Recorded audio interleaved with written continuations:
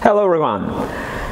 Alright, it's time to start to work on my mistakes, right? So I have some amount of mistakes found uh, by the inspector and before my fuselage kit arrives I have, well, I have some amount, I have plenty of time to work and to get all mistakes fixed.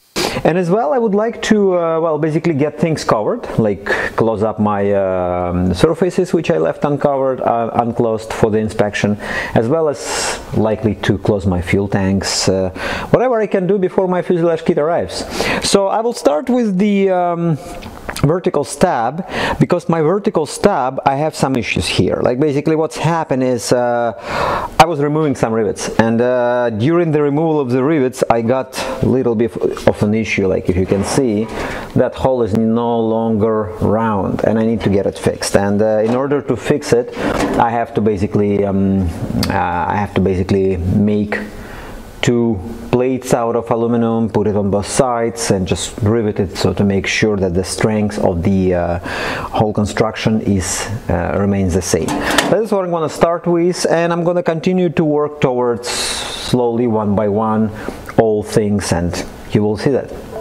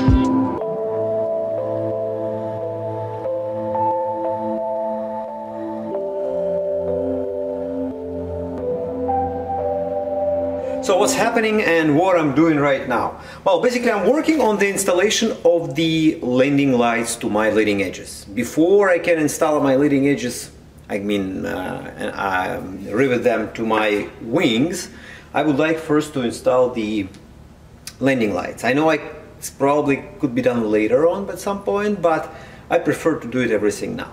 So right now I'm working, I'm getting ready my landing lights. It's from the Duckworks Aviation. So far no issues, no problems, just working, getting it ready and uh, hopefully after installing that two leading edges I will be able to fire up, get a light and install, uh, rivet my leading edges to my wings. So let's continue.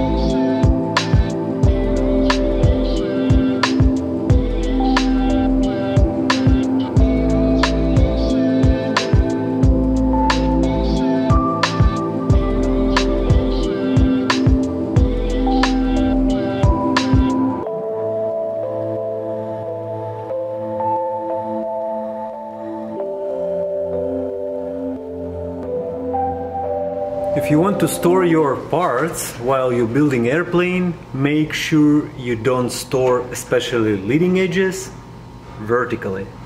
And now ask me how did I know about it? Well, accidentally, accidentally, for a short time, for 15 minutes, I put my um, leading edge of my uh, left wing vertically and of course, for sure, I hit it with my leg, and as a result, I got this. So, well, hopefully it's fixable. I removed all rivets here, so hopefully I can fix that. It looks like it's there's no like critical damage here, so I will just make sure this leading edge will be again perfect. But be careful when you're storing your parts. Make sure you don't store them in a location where it can fall. Otherwise, well, you'll get this knowledge. Hopefully not.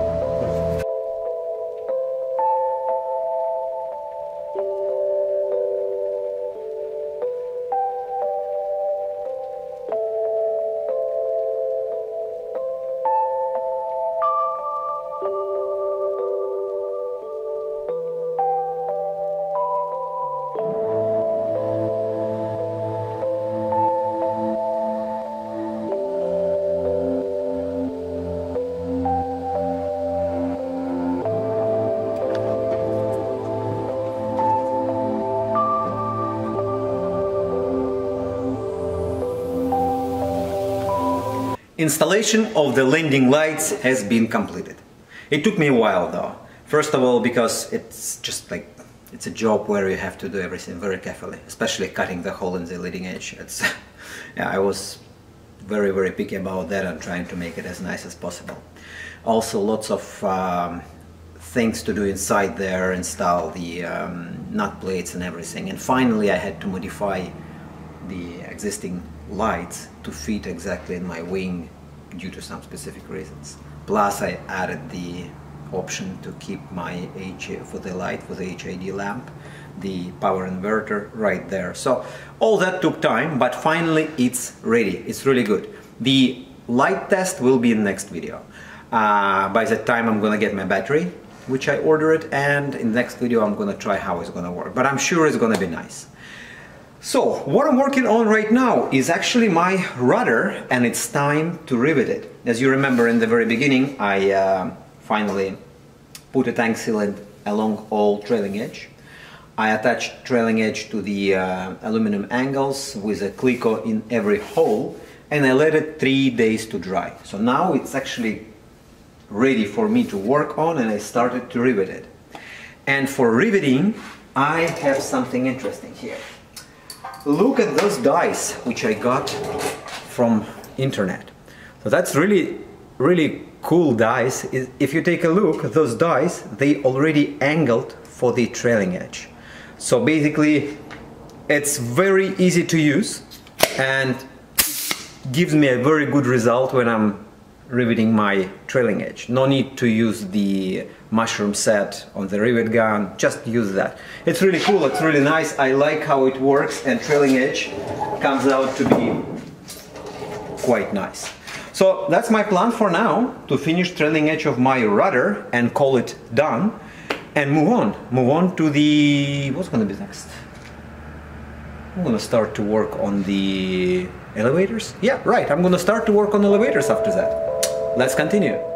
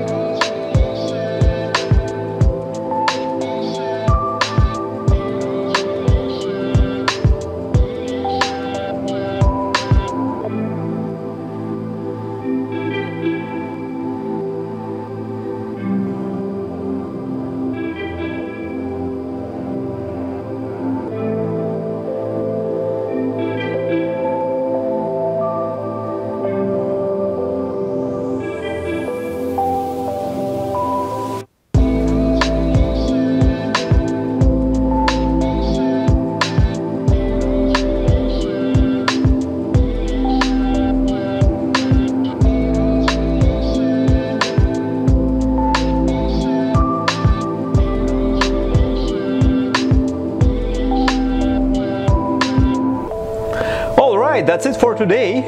I'm done. So what actually I have done I uh, finished closing my rudder. I finished closing my vertical stab and I finished closing both of my elevators. Uh, also I was able actually to complete two of my landing lights installation into my wings that's well quite a good chunk of work I have um, completed and looking forward to continue working on my ailerons, flaps and wings but that's gonna be in my next video. Thank you for watching, thank you for subscribing, see you in the next video. Bye.